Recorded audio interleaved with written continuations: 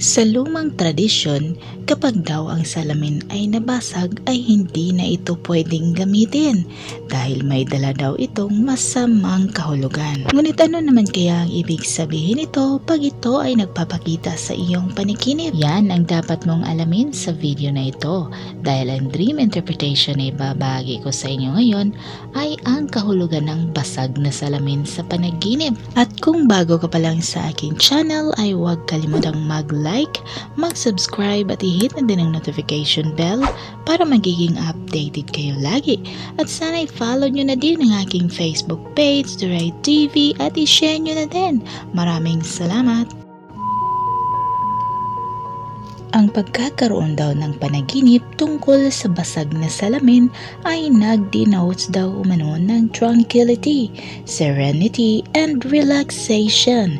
You are coming down mula sa taas ng isang passionate relationship at kailangan mo daw umanong bigyan ng some space ang iyong family. Ang panaginip din daw is a signal of fear sa mga hindi inasahan at hindi alam ng mga pangyayari. Perhaps ay may isang hindi na-resolba or hindi na-acknowledge na part na lumalaban for its right para mapakinggan. Ang pagkabasag naman sa panaginip ay nagtuturo sa isang very deep pain or internal conflict within your soul. Perhaps ay kailangan mo daw umanong i-acknowledge ang iyong feminine side at ang iyong mga ideas or beliefs are being suppressed. Ang panaginip din daw ay nag-refer sa iyong emotions kung gaano kalamig and rigid you are behaving. Hindi mo kailangang matakot na manghingi ng assistance or to depend on others from time to time. Ang salamin naman sa panaginip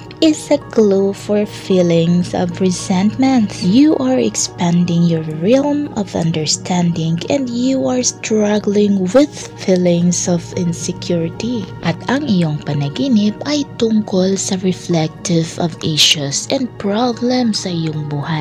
Kailangan mo daw umanong iiwas ang iyong sarili sa mga toxic influences sa buhay. Ang glass naman sa panaginip ay nangangahulugan ng ending of one thing and the new beginning of another thing. Maaari daw na nag-deal ka sa mga issues of creativity and self-expression. You are feeling limited and constructed at ang ganitong panaginip daw is an indication for your reaction of some situation at maaari daw na mag-atubili ka in dealing with some issues. Ang panaginip naman tungkol sa nabasag na salamin ay nag-denotes ng spiritual or physical renewal and forgiveness. You are reflecting on some important life decision na kailangan mong gawin at haharap ka daw umano sa mga obstacles and setbacks towards achieving your goals. Ang panaginip naman tungkol sa nabasag na glass ay nagsuggest ng spontaneity, mischievous and heartlessness. Ang iyong ambition and drive is getting in the way of your personal relationship. Minsan daw ay nakakalimutan mo kung paano or bakit ka nakarating sa kung saan ka ngayon. At ang panaginip is a hint for your expanded awareness.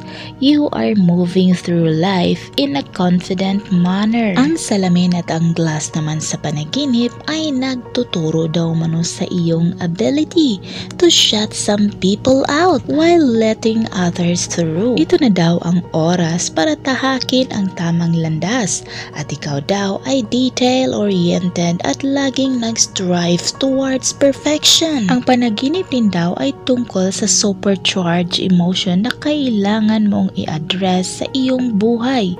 You need to smile more. Ang panaginip naman tungkol sa broken mirror glass ay isa din daw umanong premonition for your need for physical and emotional contact. Ikaw at ang iyong kaibigan share so much between each other. At nakaramdam ka daw umano ng maraming stress and tension. Ang panaginip din daw ay nagpapakita ng iyong stamina.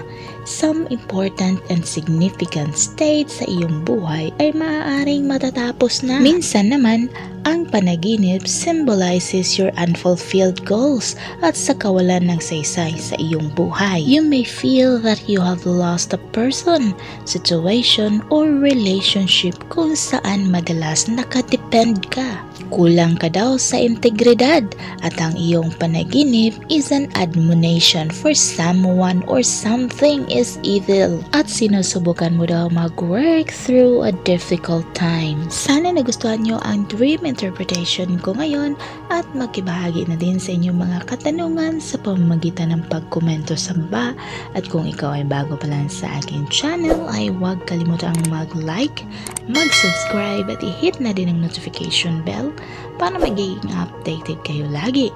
At sana i-follow nyo na din ang aking Facebook page, Duray TV at i-share nyo na din. Maraming salamat hanggang sa muli. Paalam.